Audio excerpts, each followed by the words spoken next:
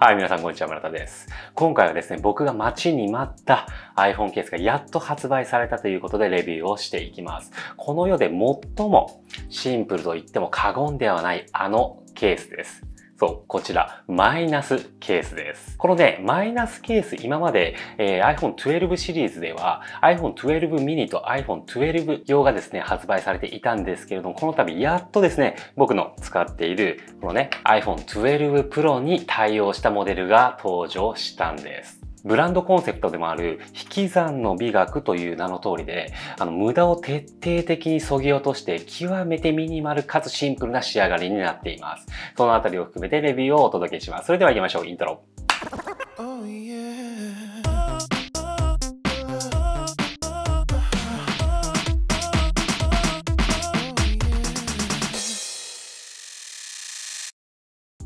はい、それでは開封をしていきます。えーカラーバリエーションはこのね、マットブラックとサンドグレー、そしてマットホワイト、この3色が、えーラインナップしています。でね、パッケージね、よく見ると、このカラバリによってこのね、紐がちゃんと色が違うんですね。マットブラックだとブラックで、サンドグレーだとちょっとグレーっぽい、シルバーっぽいもの。でね、ホワイトだと、え白っぽくなってるっていうね、こういった芸の細かさっていうのもね、さすがこだわりが詰まってますよね。今回はこっち、えーマットブラックね、えー一番人気のマットブラックをちょっと開封していきますね。で、この紐をこんな風に開けて、で、こっちから出していって、うおー、出てきました。このザ・シンプルという言葉がね、あの、まさにふさわしい、このミニマル感がやばいっすよね。あ、で、こっちに台紙がありますね。はいはいはい。もうほんとシンプルな、えー、と同梱物、ケースと台紙ですね。で、ここに、この Easy Remover って書いてあるんですけど、これね、ここがこう、取り外せるようになっていて、これね、なんかコルクっぽい素材になってるんですよね。ここがポイントで、これね、後で後ほど使うんですけど、あのーケースをね、着脱するときに取り外しやすくするためのキットになりますので、これはね、えー捨てないように、えーしておきましょう。では、実際に僕の iPhone 12 Pro に装着をしていきます。で、装着するときに結構ね、ポイントがあって、ここ、このね、スリット、わかりますか？この切れ込みがね、入ってるんですよ。これなんで入ってるかっていうと、こんな風に、ほら、こう、たわむんですね、ほら。このたわみがあるからこそ、ケースのね、取り外しっていうのをしやすくしているポイントなんですよね。はい。では、こんな感じでね、四隅の方からこういう風につけていきます。で、ペタペタ、ペタペタ。はい。こんな感じかな？はい。装着してみて、ほら見てください。このね、一体感というかね、この iPhone にシンクロするようにね、ピターッとフィットしますよね。やっぱね、この凹凸がこうなくなる、このボタンとかね、このスピーカーなとかも成功にむちゃくちゃ作られてますよね。うん。はい。で、さっきね、あの、ここのついていた、このね、えー、Easy Remover。これで外すんですけど、これ普通に外そうとすると、むちゃくちゃタイトにね、やっぱ作られているので、もう iPhone にもピターっとね、ついちゃってるので、こう外しにくいんですね。で、割れちゃったりね、ケースがすることもあるので、そんな時にこのリムーバーのこのコルク面の方を横にこうつけてあげて、ここからね、こうギューッと、こうギューッと下にスライドさせるような形でこうやっていくと、ほら、こんな感じ。わかります？ここね。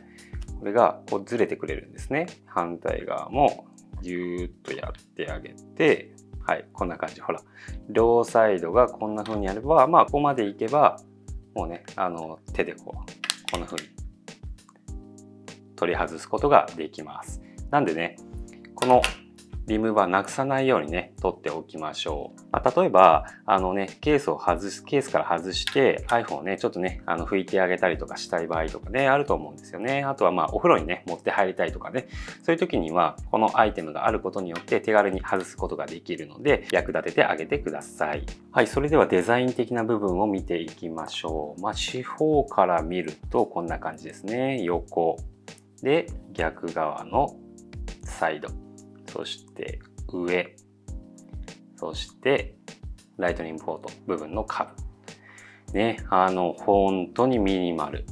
どこを切り取ってもこうフラットな形状になっています。まるで川辺を転がるね優しい石ころのような外観をしていますスクエアデザインを取り入れたこのエッジなね、あの、なんて言うんだろう。iPhone 12 Pro の側面というかね、筐体が指当たりの優しいラウンド形状になっていますね。まあ、無駄な装飾とか、まあよくありがちなね、ブランドのロゴとかね、あるじゃないですか。まあそういったところをね、全くない、ほんと無垢なシンプルなデザインをしています。やっぱりね、このマイナスケースのこの精密な設計を物語るポイントっていうのは、やっぱこの僕はね、このスピーカー穴だと思うんですよね。このスピーカー穴一つ一つに合わせるような形ミリ単位で開口部、穴が設けられているっていうのはやっぱ超絶ミニマルですよね。むちゃくちゃこだわってるなっていう。ま、ここまでの完成度ってなかなかね、あの、他社さんではないんじゃないかなと思いますね。むちゃくちゃこう完成度高くシンプルさを追求しているっていうのがね伝わりますよね。続いてカラーバリエーションごとの質感だったりね素材の違いについてレビューをしていきます。まずはね、えーと、マットブラックなんですけれども最もねマイナスケースのね、えー、カラーの中では一番、え、人気のあるモデルですね。素材には、え、ナイロンが使われていて上からこうなんだろうラバー調のコーティングが施されてるんですよね触った感じこうしっとりとした滑らかな質感を、えー、体感することができますね。なんだろうな、こう持っていた時に肌なじみがすごく良くて、こう万人受けしそうなイメージがありますね。で、指紋とかね、皮脂の汚れとかっていうのは、まあ、若干はつくのかなっていう感じはしますけど、今ね、やった感じでは、まあ、ほとんど目立ちはしないかな。うん、ちょっとギュッと押さえつけると、うん、若干残るかなっていうぐらいで、まあ、普段使いしてる分にはね、ほとんど気にならないんじゃないかなとは思いますね。続いてサンドグレーなんですけれども、これもね、素材に同じくナイロンを採用しているんですが、えー、ブラックと違うのはね、表面加工に、こう、なんて言うんだろうな、石みたいな、ちょっとザラッとした、えー、コーティングが施されているんですね。で質感もね、若干こう、ザラッとした独特のね、えー、感覚をあの指先に感じることができます。あの見た目とかね、触り心地は、あの例えるなら珪藻土みたいなイメージが近いかもしれませんね。指紋とかね、汚れも目立ちにくくて、普段使いしやすいなっていう印象があります。はい、続いてマットホワイトになります。これでもマットホワイトね、僕個人的に一押しなんですよね。あの、前のね、モデルも、えー、結構長い期間僕マットホワイトを使っていました。なんだろうね、やっぱこのね、無垢な感じもうこれがやっぱたまんないんですよね。この iPhone のこの背面にこう広がるなんか空白の余韻みたいなものがすごくね好みです。まあ、色がね、白で汚れやすいっていうのは多少ね、あるとは思うんですけど、まあ、その分ね、綺麗に使おうと自分でするんですよね。なんていうか、こう自然と、ま、丁寧な暮らしができる感じがして、まあ、生活の質がね、あの、上がるみたいな、そんなね、あの、感覚を覚えますね。で、同じく素材にはナイロンが使われていて、汚れを防止するコーティングが、えー、と、施されてますね。普通の白いケースよりも汚れにくさという部分では、えー、こちらのマイナスケースは勝っているんじゃないかなとは思いますけれども、まあ、若干ね、やっぱね、使っていくうちに、えー、黄ばんできたりっていうのはやっぱ避けられないんですけど、まあ、その点をね、えー、注意しておいた方がいいでしょう。で質感に関しては、こう、さらっとした、うん、あの、触り心地を、えー、覚えますね。一番ね、僕はこう、触っていて、うん、あの、手に馴染むなっていう印象がありますね。で、指紋に関してもほとんど、えー、もう色が白いっていうこともあるんですけど、まあほとんどわからないですね。うん。そこに関しても、えー、とメリットかなと思いますね。この3色ともね、えー、持ち歩く人のファッションを邪魔することなく、フォーマル、カジュアル問わずに、え、使えるカラーリングになっているんじゃないかなというところです。続いて、保護という観点で、え、ケースを、見ていきましょう。まあ、ケースとしてはね、この背面とこの側面、ぐるっとね、を保護するバックカバータイプになっています。なのでね、前面側はえ保護してないような形になっていますね。でケースの厚みは極めて薄くて、まあ、側面とかね、え可動値とかに対する衝撃の強さっていうのは期待しないでください。まあ、あくまでもね、カバーしてやるっていう感じで衝撃には弱いので、その点はね、留意しておきましょう。まあ、ただ、ケースのね、内側なんですけど、シートがね、えっ、と、背面にこう、ペターっと貼ってあるんですよね。このさらっとした、え質感のあるインナーのシート。これがね、あの結構ね、こう、ギュッと押すと、ちょっとこう、しぼむというか、コッとね、ちょっとこう、衝撃をね、吸収してくれるような、え効果がありそうですね。だからまあ背面側からね、こうバーンとこうぶつかった時には、このインナーシートが、えー、衝撃を和らげてくれるというふうに思ってもらってもいいんじゃないかなと思いますね。あと、あの、細かい話なんですけど、この iPhone とケースの間にこうね、ゴミとかが入って、なんだろう、こう、iPhone 側がこう傷ついちゃうっていうこともね、やっぱり、少なからずあると思うんですけど、そういった時にもね、この優しくこうシートがね、保護してくれるので、iPhone の筐体に細かい傷をつけないという意味でも、これはね、効果的だと思います。続いて背面側のね、この iPhone 12 Pro のボコッと出たトリプルレンズカメラの、えー、部分なんですけれども、ここに関してはね、このマイナスケース賛否が分かれるかなと思いますね。こちらがね、あの以前から登場していたあの i マイナスケースなんですけど、まあ、見てわかる通り、このカメラレンズのね、この穴、丸い穴に合わせてこうくり抜かれていたこうねモデルだったんですけど今回の12 Pro に関してはこのカメラユニット全体がくり抜かれているような形になってるんですよね。まあおそらくね、このライダースキャナーとかね、その精巧な部分、センサー類が、えー、くり抜くのがね、難しかったんだろうなとは思いますけれども、やっぱね、こっちのね、もう必要最小限のところをカバーしているこのデザインが好きだったよっていう人に関しては、ちょっとがっかりしたポイントかなというふうには思いますね。まあ、ただカメラレンズの高さとほぼ同じぐらいにねこのケースの厚みを調整されているので、まあ、背面側からねこんな風に iPhone を置いてもね